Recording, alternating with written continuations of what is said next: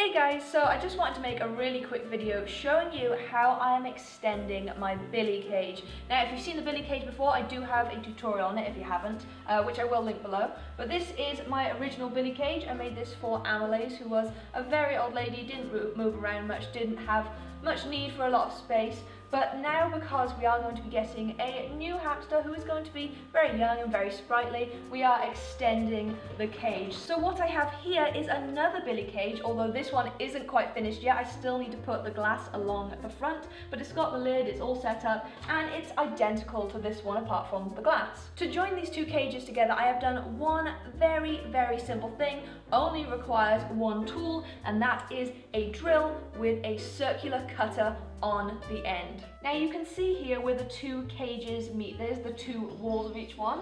And if I move this cage, you can see where it separates. And all I had to do was take this tool and cut one hole in this wall and in the exact same position on this wall, cut another hole the exact same size. Then all you have to do is to push the two cages together and the two holes will line up, giving your hamster access to both sides of the billy cage. It's really as simple as that. It took about 10 minutes at most.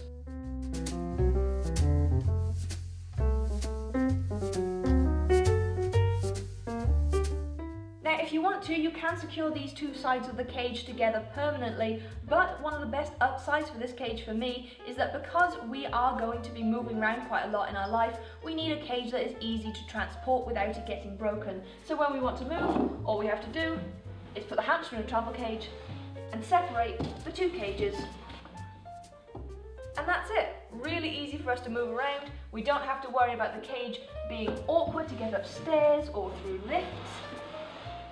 And the hamster still has a lovely big home. So there we go, that is how to extend the billy cage and the great thing about this is you really can make these cages as big as you want. You can just keep buying extensions for it. You can buy an extension half the size of this, you can buy a second one this size and you can just keep making it bigger and bigger and bigger. So thank you guys very much for watching this video. If you found it helpful, please don't forget to leave a thumbs up to help support the channel. Also don't forget to share the video with your friends and subscribe to the channel if you haven't already. Thanks again for watching and I'll see you next time. Bye bye!